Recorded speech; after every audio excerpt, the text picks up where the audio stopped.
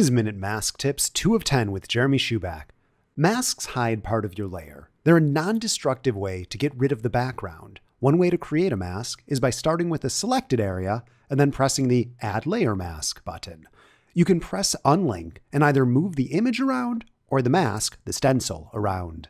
Then, if you want, you can delete the mask by dragging the mask thumbnail to the trash. If you start with a more complicated selection, you can make a more complicated mask.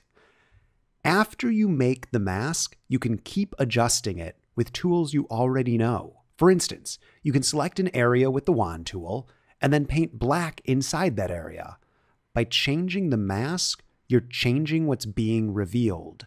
And eventually, you can create the exact stencil you had hoped for.